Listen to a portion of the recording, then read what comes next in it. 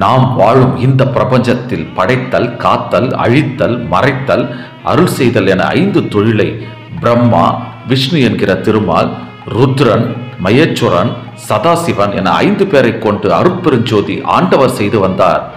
அந்த அருட்பெருஞ்சோதி ஆண்டவர் வள்ளலாருக்கு மரணமில்லா பெருவாழ்வு தந்துவிட்டு பின் ஐந்தொழிலை செய்யும் ஆற்றலையும் வள்ளலாரிடம் கொடுத்து விடுகிறார். அதனை முந்துரு ஐந்தொழில் மூர்த்திகள் பலருக்கும் ஐந்தொழில் அளிக்கும் அருப்பெருஞ்சோதி என்ற அகவலடியின் மூலமும் சேர்ந்தானை என்றனை தன் அன்பரோடு செரியாத மனஞ்செறிய செம்பொற்றாளில் ஆர்த்தானை அம்பலத்தில் ஆடா நின்ற ஆனந்த நடத்தானை அருட்கண் நோக்கம் பார்த்தானை பாராதாரை பாராதானை பார்ப்பறவே பார்த்திருக்க பண்ணினானை ஈர்த்தானை ஐந்தொழில் நீ ஏற்றென்றானை எம்மானை கண்டுகளித்திருக்கின்ற என்ற திருவருப்பா பாடலின் மூலம் அருட்பெருஞ்சோதி ஆண்டவர்.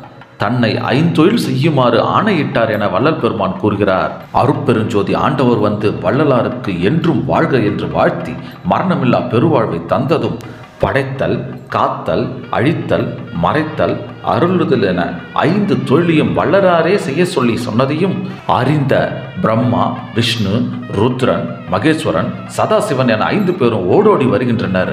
வந்தவர்கள் வாழி வாழி வள்ளலார் அவர்களே வாழி என்றும் நீனே அருப்பெரும் ஆழி அருப்பெரும் கடல் என்றும் கூறி வணங்குகிறார்கள். அதனை வாழி என்றே என்னை மாலையன் ஆதியர் வந்தருட்பேர் ஆழி என்றுதி தேத்த புரிந்தனை அற்புதம் நீடூழி என்றே என்றும் சாகா வரவம் உவந்தளித்தாய் வாழி மன்றெங்கும் அருட்பெருஞ்சோதி நின் மன்னருளே என்ற திருவருப்ப பாடலின் மூலம் அறியலாம். அருள் செய்தல் என்பது வேறு வணங்குதல் என்பது வேறு.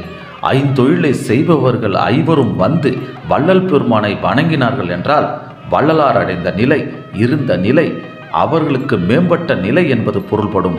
அதாவது ஐந்தொழிலையும் செய்யும் ஆற்றலை அருட்பெருஞ்சோதி ஆண்டவர் வள்ளலாருக்கு மேட்டுக்குப்பத்தில் வழங்கிவிட்டார் என்பது பொருள். அதனால் இப்போது இந்த பிரபஞ்சத்தில் வள்ளலாரே ஐந்தொழிலையும் செய்கிறார் என்பதும் தாம் விரும்பியவருக்கு ஐந்தொழில் செய்யும் ஆற்றலையும் வள்ளலார் வழங்க முடியும் என்பதையும் இந்த பாடல்கள் சொல்கிறது.